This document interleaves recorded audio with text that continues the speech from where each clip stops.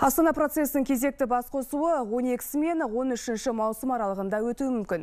Қазір кепіл мемлекеттер арасында сарапшылар деңгейінде сөздер жүріп жатыр.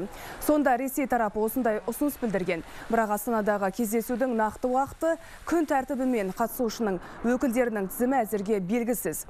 Еліміз тиісті ұсынысты күтіп отыр. Бүгін сыртқы істер министрі журналистерге берген сұхбатында осылай деді. Ал өткен айдағы уағдаластық өз жемісін берген.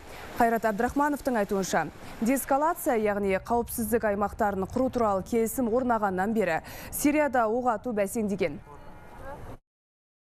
Астанада өткен айда жеткізілген жаңағы уағдаластықтарға байланысты төрт деэскалацияға жататын зоналарда әртүрлі ә, әскери іс-қимылдар едәуір төмендеді.